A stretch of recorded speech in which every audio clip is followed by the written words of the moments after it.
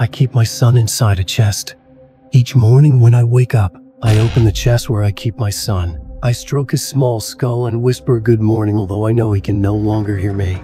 I hope he doesn't think I've abandoned him. I hope he knows I never will. When my son died of a fever, I refused to let him go. He was only a baby, and all that I had left.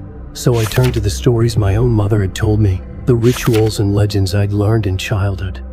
The rules of bringing someone back from the underworld seemed so easy. I scoffed at the stories of those who failed, sure that my willpower would be stronger than theirs. I forced my way through to the fields of night, and I found my son's faint, pale soul.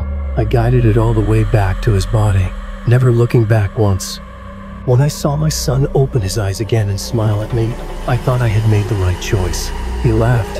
He ran. He played just as he had before. I even believed I could pretend nothing had happened.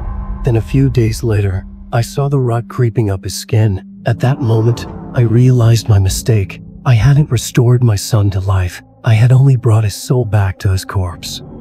I tried to comfort him as his body swelled and decayed. He screamed day and night in fear as his flesh fell from his bones.